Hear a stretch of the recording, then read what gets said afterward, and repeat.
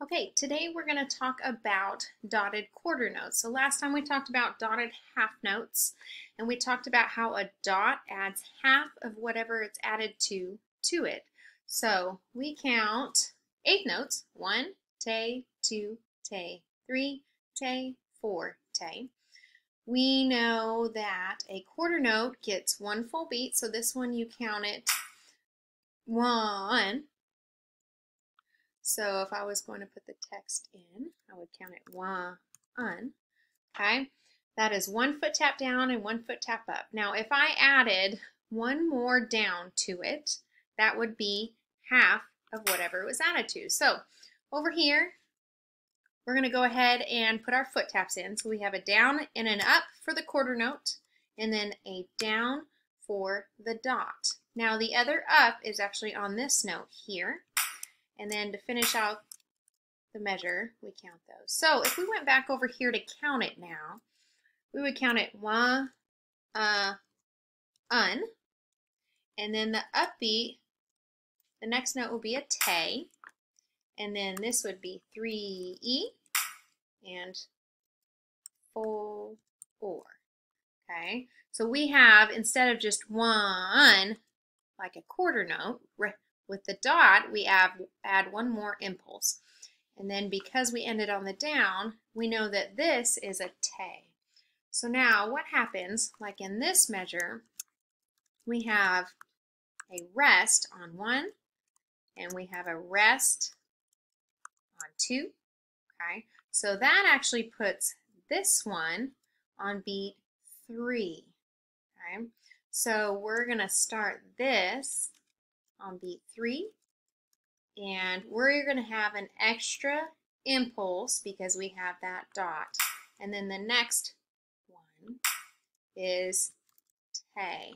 Okay, so remember our foot goes down, up, down here, and then up for the te. Okay, now to come down here, so we have one, and we have a rest on this note. So that's a down because we had a full beat here. And this would be an up. Okay. Same thing here, down, up, down, up. Okay, so we know that this should be number two, but it's a rest. So we're not going to say beat two. Okay, but then this one is the te because it's on the upbeat. Now, instead of thinking two, I like to change it and say mm instead of two because it kind of helps me with all the rhythms. Okay, so this is three and four. All right, now let's go back to the top and count some of this. So this measure is one te, two te, three te, four te. This measure is one te, three, four. Okay, this measure is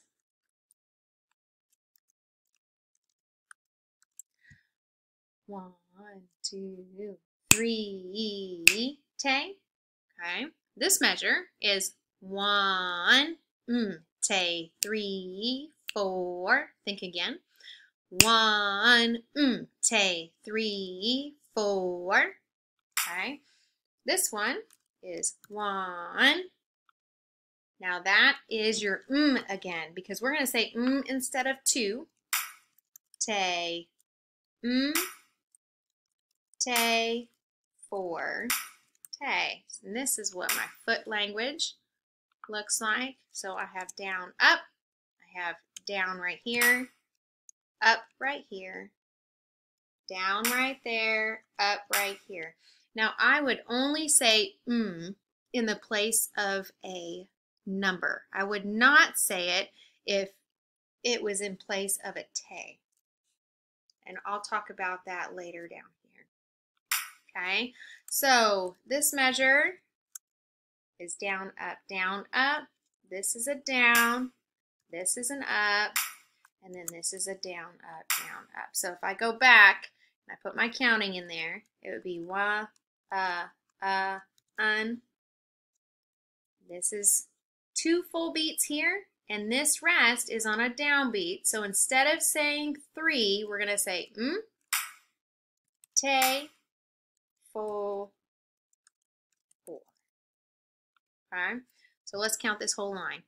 One, mm, te, three, four. One, mm, te, mm, te, four, te. One, mm, te, four. And then down here, these look really funny, but this is actually the downbeat.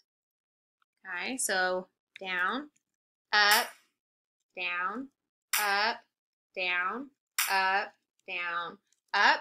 And what do we say on a down? We say a number.